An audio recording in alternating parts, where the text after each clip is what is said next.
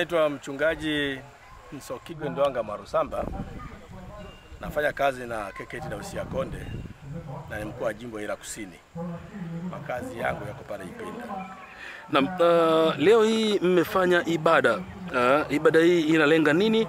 Na kukuinua Bwana peke yako ni Mungu, hakuna kama wewe.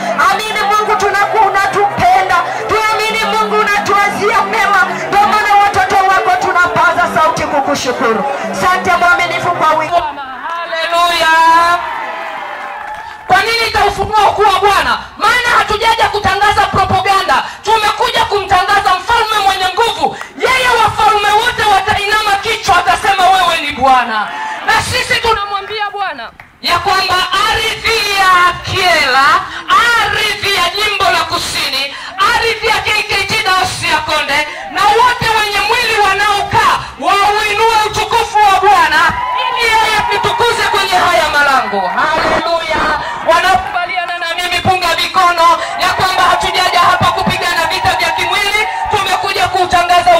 Bwana. Haleluya! Kwa hiyo ndani yako usibebe jazba, usibebe chuki, usibebe magomvi. Achilia roho ya msamaha hata mahali ulipoumizwa, ili Bwana achukue nafasi ya kupigana kwenye mambo ya kwake. Haleluya! Anasema Baba, mimi nimetoka ulimwenguni, lakini hawa nimewaacha, lakini naomba uwalinde. Inawezekana vimehatarisha maisha yetu, lakini ombi la Yesu limesimamisha ulinzi juu yetu. Ombi la Kristo alilotuombea limesimamisha usalama juu yetu. Sisi tumwinue Yesu tunapoingia kuomba. Usifanye kama unayekuja kushangaa, umekuja kuwajibika. Haleluya!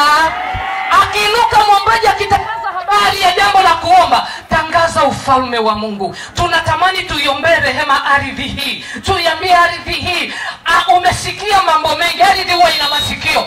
Samehe ni habari ya kusikia uzuri wa Mungu. Sasa umesikia manung'uniko mengi, ardhi tunafuta hayo manung'uniko. Sikia ukuu wa Mungu sasa, maana ni majira ya ufalme wa Mungu kumiliki. Haleluya! Namshukuru Mungu ambaye anatupa nafasi hii, na mimi nachotamani ni yetu ya leo, lengo lake kubwa ni kuomba pamoja. Ndio maana jimbo la Kusini tuliwaalika wenzetu kwa pande zote za Dayosisi ya Konde, majimbo yote saba, ili waje pamoja tupate kuomba mambo hayo ambayo yamedhihirisha katika ibada hii. Tumeombea serikali, tumeombea kanisa kwa ujumla wake, kanisa, dayosisi na jimbo hili, tumeombea amani, tumeombea mambo mbalimbali. na kumekuwa na changamoto ya baadhi ya watumishi wa KKKT uh, kukumbwa na masahibu mbalimbali ikiwepo mchungaji uh, kutaka kuchomewa nyumba yake moto akiwa ndani, lakini pia katibu uh, kufyekewa mashamba yake. Ibada hii inakwenda pia ama inalenga masuala haya? Hapana, hailengi masuala hayo. Sisi tulichagua tu kama jimbo tuje tufanyie maombi hapa. Sisi hoteli tuna kawaida ya kufanya maombi, na hasa mkazo wangu mkubwa mimi katika jimbo hili kwamba tunaenda mahali mahali tunafanya maombi. Kwa safari tulichagua hapa na kuwaomba wenzetu majimbo mbalimbali tuje tuombe pamoja, pamoja na kwamba limejitokea swala ya kumsaidia mchungaji kama ulivyoona mtangazaji katika ibada hii kwamba tuipenda tu tufanye matendo ya huruma kwa mchungaji mstaafu ambaye nyumba yake bado haijaisha na haina madirisha. Na juzi tu hapa imetokea vijana wasiojulikana wamekwenda kusukuma yale madirisha usiku, na wamepanga matofali dirishani, wamesukuma na kuyamwagia pembeni huko. Na si katika ibada hii tuliamua katikati katikati ya maombi tufanye changizo kwa ajili ya kutengeneza madirisha ya mchungaji na, na, na milango yake. na kuna kadhia uh, imewapata uh, watumishi uh, kutokana na mgogoro ambao uliopo uh, kama hao kufyekewa mashamba kwa katibu, lakini pia kutaka kuchomewa nyumba moto. Hatua gani kama jimbo ambayo imechukua mpaka sasa hivi kuhakikisha kwamba mnakomesha hasa uh, vitendo hivi havijirudii?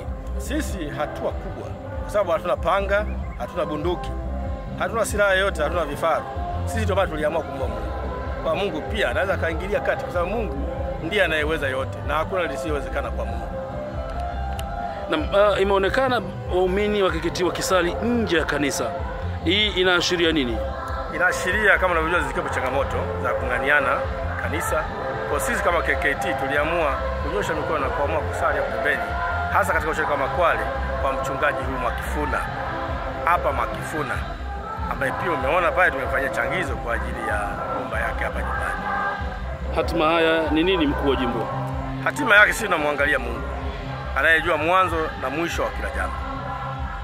Nini unapenda kuhasa wachungaji wengine juu ya migogoro, lakini pia kuchunga vyema kondoo wakati tunaelekea mwisho huu wa mwaka wa Kuwa, 2022? kuwa na roho ya uaminifu na kuridhika na ulicho nacho.